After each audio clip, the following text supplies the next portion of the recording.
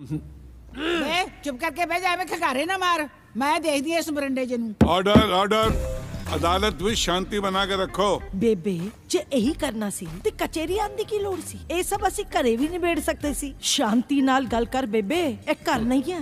ਅਸੀਂ ਜੱਜ ਸਾਹਿਬ ਦੇ ਸਾਹਮਣੇ ਖਲੋਤੇ ਹਾਂ। ਉਹ ਜੋ ਕੁਝ ਕਹਿਣਾ ਹੈ ਕਟਾਰੇ ਜਾ ਕੇ ਕਹੋ।